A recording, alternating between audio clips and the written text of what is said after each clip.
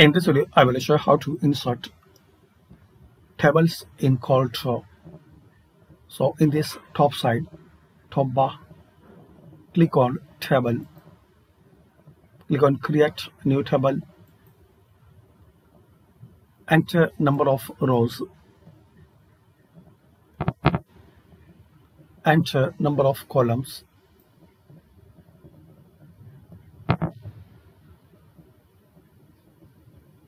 select your custom height and width then click on ok.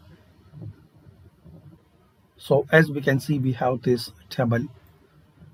In this CorelDRAW you can change color size and border. So you can give look as you need. So this is the simple and basic way to insert and create table in CorelDRAW. Thanks for watching and please share like and subscribe this channel for more useful videos.